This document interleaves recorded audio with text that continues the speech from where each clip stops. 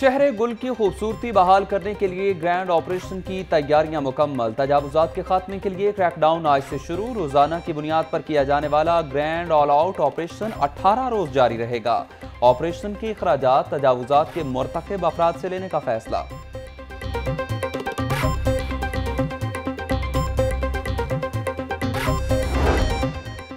دو ہزار سے زائد تجاوزات پر سرخ نشان لگا دیے گئے۔ سب سے پہلے داتا گنج بخش شالامار زون سبزہ زار، انارکلی، لیڈی ولنگٹن روڈ اور اردو بازار میں آپریشن ہوگا۔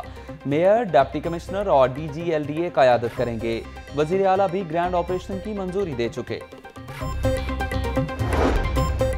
سبزہ شاہ فرید قبرستان گوالوں کے نرغے میں قبرستان کے اطراف گوالوں نے بھینسوں کے باڑے قائم کر لیے۔ قبرستان میں داخل ہونا، سڑک سے گزرنا محال۔ بھینسوں کا گوبر سڑکوں پر پڑا رہنے سے سیوریج بند۔ گندا پانی سڑکوں پر بہنے لگا۔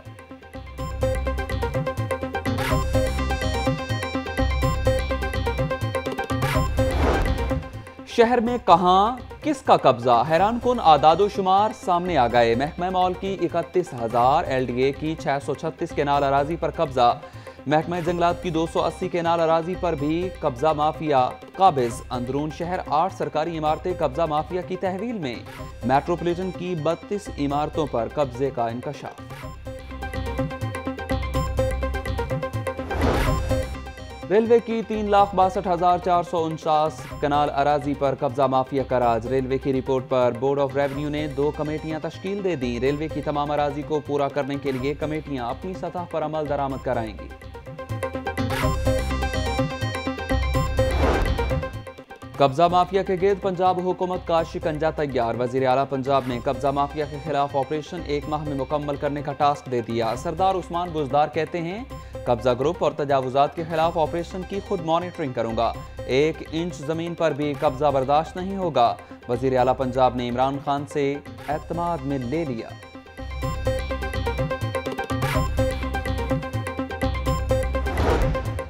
بیواؤں، یتیموں اور انتہائی غریب افراد سے نرمی برتی جائے۔ قبضہ مافیا کے خلاف آپریشن کا مقصد بڑی مچھلیوں پر ہاتھ ڈالنا ہے۔ ناجائز قابضین کے بجلی، گیس اور پانی کے کنیکشن مستقل طور پر منقطع کیے جائیں۔ سینئر صوبائی وزیر عبدالعلیم خان کی تمام محکموں کو ہدایت۔ مختلف علاقوں کا بھی دورہ۔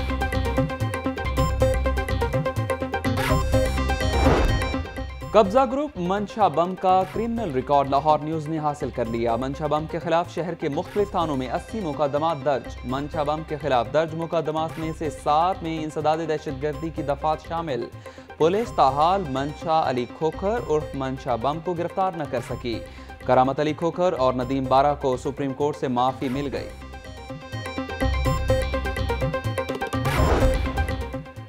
لاہور ہائی کورٹ کی مال روڈ کو اصل حالت میں بحال کرنے کے لیے پندرہ روز کی مہلت۔ عدالت کا میٹروپولیٹن کارپوریشن کو عدالتی احکامات پر منوان عمل کرنے کا حکم۔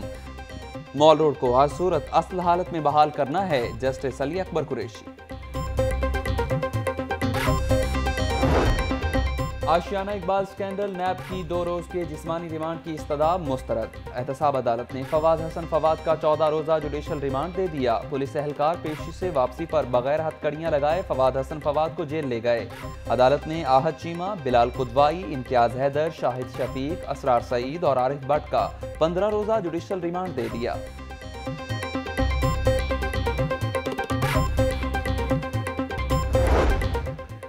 میٹروپولیٹن کارپوریشن کے اجلاس میں شدید ہنگامہ آرائی، لیگی چیئرمین محمد بابر کی جانب سے عمران خان کو چور کہنے پر اپوزیشن کا شدید احتجاج۔ اپوزیشن لیڈر عفیف صدیقی کی نامناسب الفاظ حذف کرنے کی استدا سپیکر نظیر خان سواتی نے استدا پر کان ہی نہ دھرے۔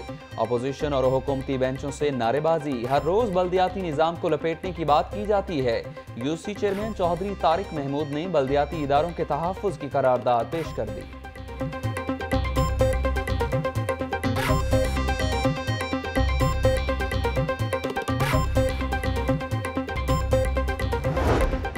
میٹروپولیٹن کارپوریشن کا اکیسواں اجلاس عوامی نمائندوں کی عدم دلچسپی۔ صرف دو ڈیپٹی میئر اجلاس میں موجود، کئی چیئرمین اور وائس چیئرمین بھی نہ پہنچے، خواتین اراکین کی بھی کم شرکت۔ جو آئیں، وہ سیلفیوں میں مگن نظر آئیں۔ شہباز شریف نے لاہور میں بڑے منصوبے مکمل کیے۔ میئر لاہور، پنجاب حکومت اور بیوروکریسی پر برس پڑے۔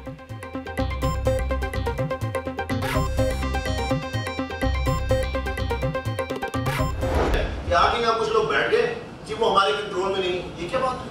اگر آپ کے کنٹرول میں نہیں ہے آپ کے کنٹرول میں نہیں تو میرا آپ اوپر کیا کیا ریپرزینٹ کر رہے ہیں؟ وزیر تعلیم مراد راز پہلے برہم پھر نرم۔ بلیک میل نہیں ہوں گا احتجاج کا شوق پورا کر لیں۔ مذاکرات کے دوران وزیر تعلیم اٹھ کر چلے گئے۔ پیف پارٹنر سکول انتظامیہ کے احتجاج کی دھمکی پر فوری یو ٹرن مذاکرات کے لیے لوٹ آئے۔ پیف پارٹنر سکول کو ایک ماہ میں فنڈز جاری کرنے کی یقین دہانی کرا دی۔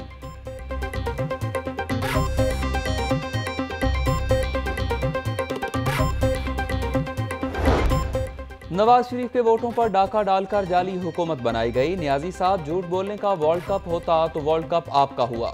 قبضہ کر کے کھرب پتی بن جانے والے عبدالعلیم خان کو سینئر وزیر لگا دیا گیا۔ حمزہ شہباز، نئے پاکستان کی حقیقت آیاں ہو چکی۔ مل کر جعلی حکومت کو گھر بھیجیں گے۔ یہ حکومت مسائل کے حل کے لیے نہیں بلکہ الٹا بوجھ ڈالنے آئی ہے شاہد خاقان عباسی۔ لیگی رہنماؤں کا سنگھ پورہ میں انتخابی جلسے سے خطاب۔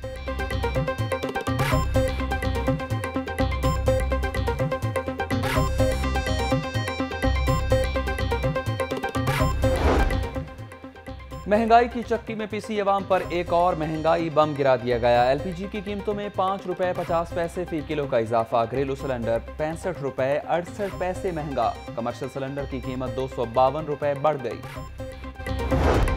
ای چالان کہاں جمع کرانا؟ لاہور نیوز نے مسئلہ حل کرا دیا۔ شہر آج سے بینک آف پنجاب کی شاخوں میں جرمانے ادا کر سکتے ہیں۔ پہلے فیز میں چالان جمع کروانے کے لیے بارہ اکتوبر تک کا وقت دیا گیا ہے۔ ترجمان سیف سٹی، لاہور نیوز نے ای چالان کا اکاؤنٹ بینک پنجاب میں فعال نہ ہونے کی خبر نشر کی تھی۔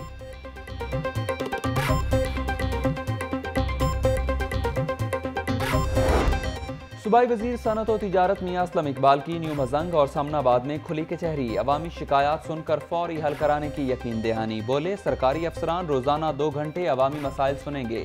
عوام کی فلاح و بہبود کے لیے دن رات کام کریں گے۔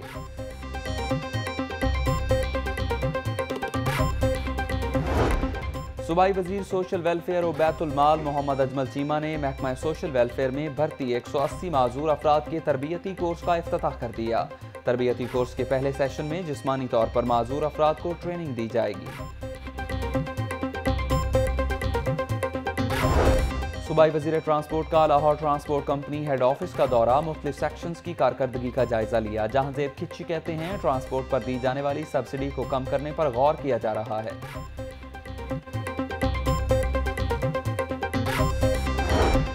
محکمہ صحت پنجاب کے زیر اہتمام ہفتہ آگاہی برائے غذائیت کا آغاز سگیاں روڈ، اکرم پارک میں افتتاحی تقریب۔ صوبائی وزیر صحت ڈاکٹر یاسمین راشد بولی، غذا کی کمی کی وجہ سے بچے کمزور ہو رہے ہیں۔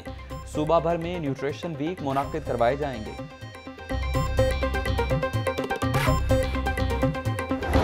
دسواں انٹرنیشنل چلڈرن فلم فیسٹیول شروع۔ افتتاح وزیر تعلیم مراد راس نے کیا۔ فیسٹیول میں انتیس ممالک کی بہتر فلمیں دکھائی جائیں گی۔ فیسٹیول چھ اکتوبر تک جاری رہے گا۔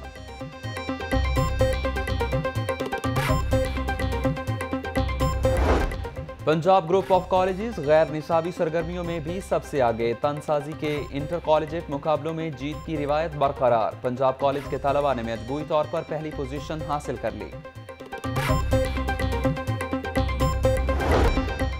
یونیورسٹی آف ہیلتھ سائنسز نے میڈیکل انٹری ٹیسٹ کے نتائج کا اعلان کر دیا۔ عثمان احمد نے ایک ہزار بیاسی نمبر لے کر پہلی پوزیشن۔ علینا مجاہد نے ایک ہزار چھتر نمبر لے کر دوسری پوزیشن حاصل کی۔ تیسری پوزیشن پر ایک ہزار ستر نمبر لے کر تین طالبہ قابض ہو گئے۔ Vice chancellor U H S professor doctor Javed Akram نے پوزیشن ہولڈرز امیدواروں کو مبارکباد دی۔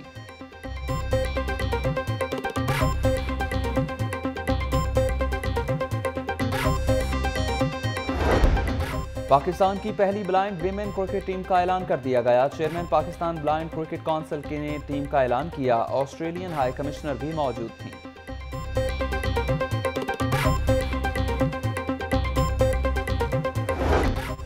P C B girl school cricket tournament میں طالبات کے چوکے چھکے. شاندار پرفارمنس کا مظاہرہ کیا. ٹورنامنٹ میں سولہ سکولوں کی ٹیموں نے آپس میں حصہ لینا ہے.